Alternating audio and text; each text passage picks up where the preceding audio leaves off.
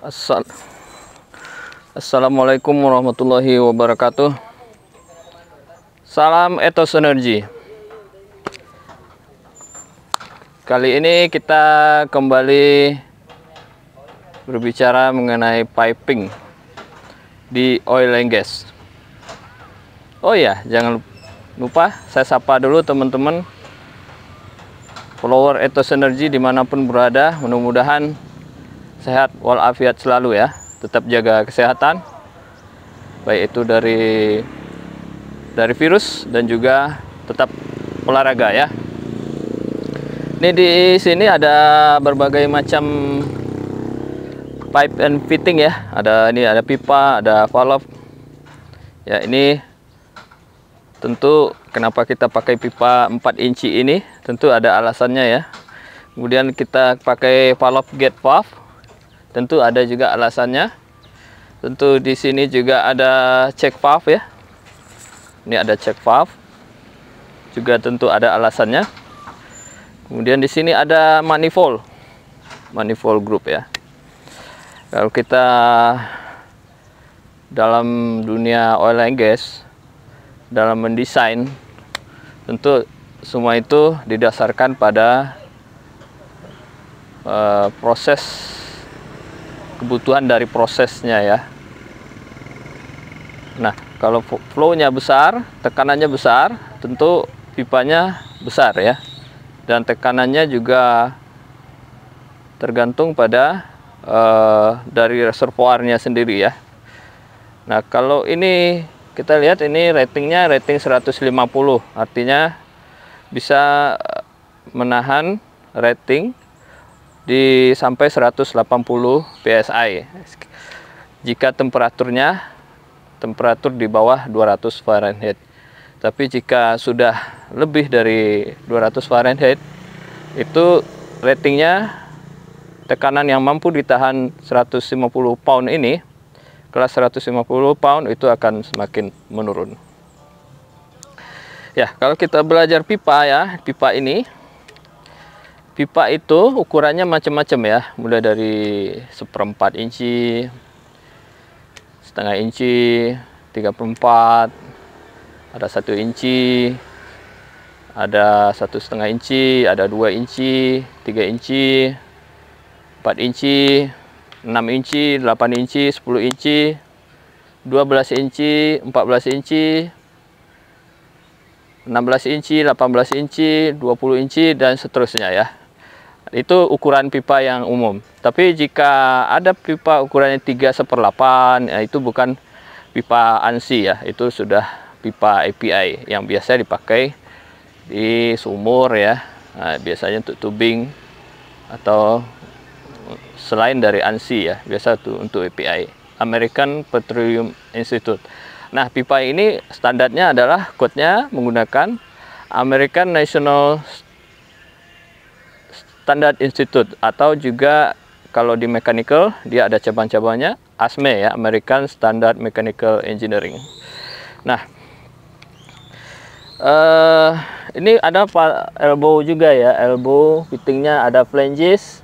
Nah untuk mengkonek ke kepala ini kita perlu pasang flanges juga ya yang sama ya kelas 150 ya tentu sizing ini sizing kenapa kita pakai 4 inci tentu sizingnya kita dapat dari PNID atau dari proses engineer ya.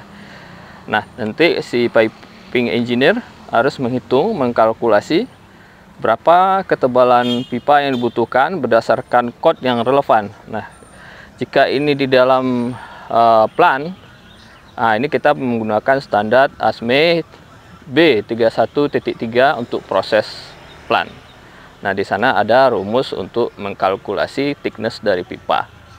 Dan untuk fitting-fitting tadi, untuk flanges tadi bisa kita pakai di code standar ASME juga ya pemilihannya. Kemudian apalagi informasi yang kita butuhkan untuk mendesain sebuah pipa ini ya. Nah, kita ini ada dua flow line ya. Kita sebutnya flow line ini dari ini dari underground, ini dari sumur. Nah, ini dari sumur ngalir ke manifold. Yang sebelah sana juga dari sumur, sumur yang berbeda. jaraknya bisa berkilo-kilometer ya, bisa puluhan kilometer. Tapi ada juga yang pendek ya. Yang di sana juga dari sumur. Nah, fluida ini biasanya uh, dipompa ya, atau juga juga ada dari sumur itu yang di natural, natural uh, yang ngalir secara natural. Tapi karena ini lapangan kalau masih sanggup pressernya bisa natural, tapi biasanya dibantu dengan pompa. Kalau jaraknya jauh tentu ada rugi-rugi alirannya ya. Nah di sini pressernya uh, back pressure namanya ya back pressure. Nah ini yang kita hitung ya berapa back pressure yang dia yang dibutuhkan di sini. Nah itu kalau mendesain pipa nanti ini underground. Nah, underground ini pipanya biasanya di wrapping dengan kedalaman 1 meter dari permukaan tanah. Nah, itu di wrapping supaya tidak terjadi korosi ya.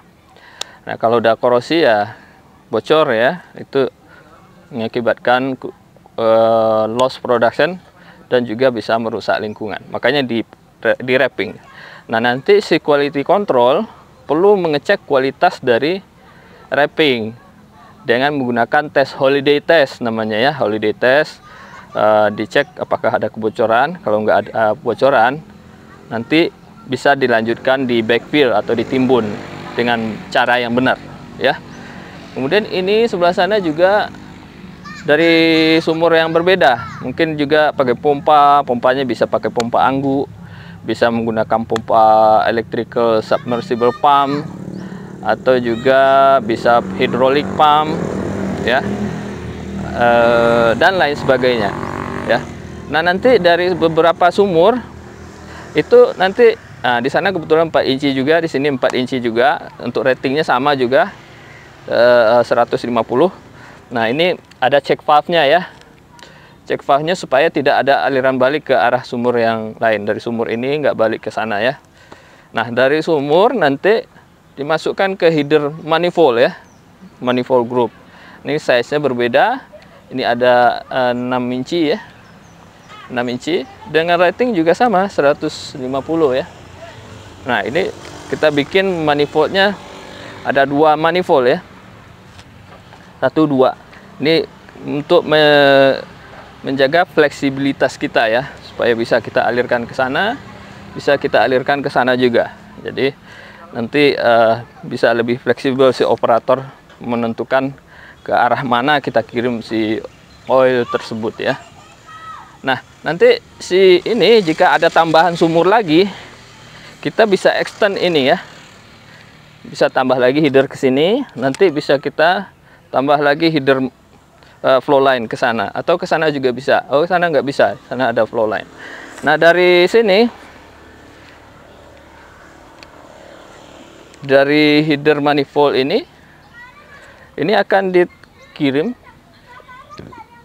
ke stasiun pengumpul atau gathering station oil oil gathering system. Nah di oil gathering system baru nanti diproses uh, oilnya dipisahkan antara apakah itu oil dengan air atau oil dengan gas gas aso ya atau juga uh, dengan CO2 atau H2S diproses di stasiun pengumpul. Nah, nanti dari stasiun pengumpul setelah diproses uh, oilnya dipisahkan uh, air dengan oil, oil dengan gas ya dipisahkan nanti baru nanti di uh, minyaknya dikirim ke P3 kalau di Pertamina namanya ya. Nah, nanti baru dikirim ke refinery kilang minyak untuk diproses uh, menjadi pertalite kah, premium kah atau pertamak ya. Atau juga bisa jadi uh, solar ya. Nah, kemudian kita bicara lagi nanti gas ya, gas yang ini dari sumur itu macam-macam ya. Ada minyak, ada air, ada gas, gas aso, atau kita sebutnya uh, minyak ya yang menguap atau kalau gas itu men nanti menjadi ah ya itu namanya gas associated gas kemudian nanti ada CO2 dan H2S ya Nah, jika CO2-nya tinggi, tentu uh, korosinya tinggi ya. CO2 dan H2S-nya tinggi akan mengakibatkan si pipa terkorosi lebih cepat. Nah, nanti kita akan hitung laju korosi dan kita akan masukkan ke corrosion allowance pipa tersebut ya. Jadi uh, perlu uh, dikaji uh, laju korosi dari pipa akibat dari korosi dari uh, oil gas yang ada di dalam khususnya CO2 dan H2S. Biasanya yang sangat berbahaya adalah CO2. Korosi bisa cepat terjadi akibat CO2. Nah, di stasiun pengumpul nanti, ah ya di belakang ya, di sana ada separator ya. Mungkin saya kira teman-teman nampak ya di separator itu nanti akan dipisahkan. Ada LP separator ya, akan dipisahkan minyak, eh, air, dan gas ya di separator. Uh, gasnya kalau sedikit itu bisa di flare, dibuang, dibakar saja, dan CO2, CO2 dan H2S-nya juga dibuang di sana ya. Jadi uh, tidak membahayakan uh, uh, buat uh, lingkungan ya. Jadi di, kalau gasnya sedikit dibakar saja, tapi kalau misalnya besar itu gas asonya malah bisa dimanfaatkan untuk diproduksi, dijual gitu ya bisa jadi kondensat gitu. Nah, biasanya si gas aso ini gas ini bisa dimanfaatkan untuk menggerakkan eh, pompa-pompa ya.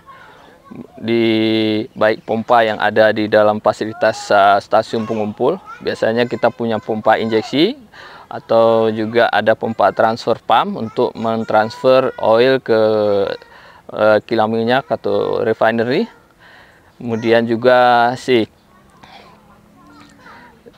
bisa juga untuk genset untuk penerangan atau untuk utility di uh, stasiun pengumpulnya eh, sangat banyak manfaatnya. Tapi kalau sedikit tidak bisa dimanfaatkan biasanya dibakar saja gitu ya.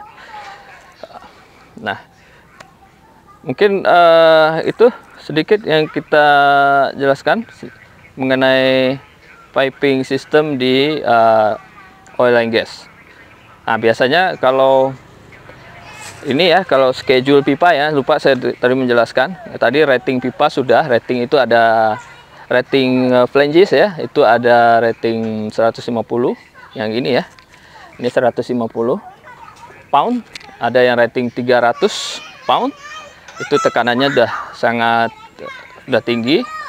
300 itu bisa sanggup uh, sampai tekanan 600 atau 700 700 PSI kemudian ada rating 600 bisa 1200 eh, PSI pada temperatur di bawah 200 Fahrenheit ya ini makin tebal eh, makin tinggi ratingnya makin tebal flangesnya ya. Valve-nya juga akan mengikuti uh, rating uh, tersebut ya.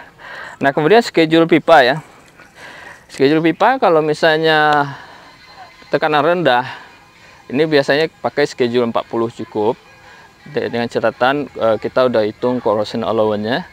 Tapi kalau pressure-nya tinggi uh, 400 PSI atau 600 PSI dengan catatan kita hitung thickness-nya berdasarkan code ASME B31.3 itu bisa schedule 80 gitu ya. Nah, biasanya untuk oil flow line biasanya kita cukup pakai schedule 40 saja. Nah, biasanya di oil and gas ya di, di sumur itu ada pompa yang perlu dioperasikan. Nah, pompa kan biasanya jauh-jauh ya di remote area. Nah, pompa itu perlu energi untuk fuel ya, fuel untuk menggerakkan engine-nya. Nah, biasanya dari stasiun pengumpul itu kita punya kompresor. Nah, biasanya yang paling umum dipakai itu reciprocating kompresor. Karena kita kenapa pakai reciprocating kompresor?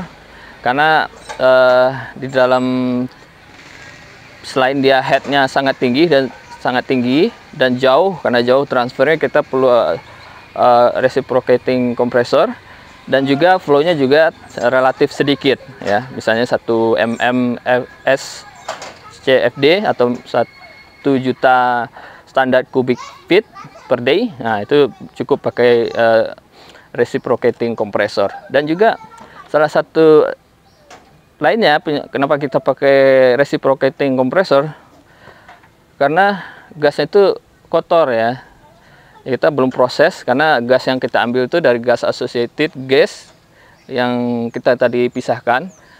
Ada gas asonya ada CO2 ada H2S di dalamnya. Jadi tidak bisa kita menggunakan centrifugal kompresor.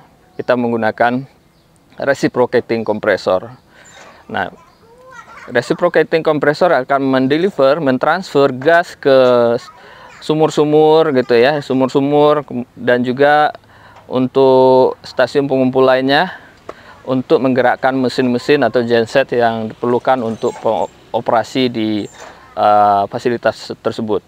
Nah, biasanya dari stasiun pengumpul ke sumur-sumur itu dari, mungkin bisa seratusan ratusan sumur atau ribuan sumur menggunakan pipa pipa uh, 2 inci dan kadang juga di uh, gas itu juga bisa dimanfaatkan untuk uh, gas lift ya. Gas lift itu artinya untuk membantu naiknya minyak uh, dengan menggunakan gas.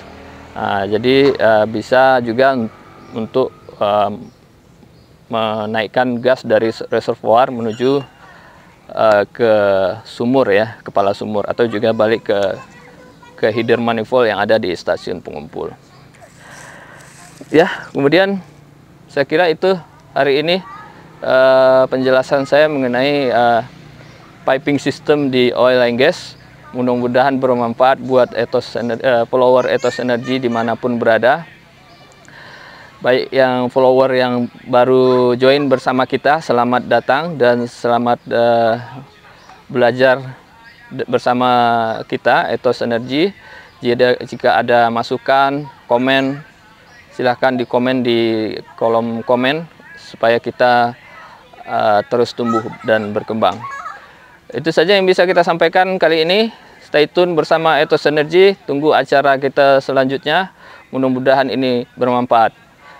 Assalamualaikum warahmatullahi wabarakatuh. Salam Etos Energy.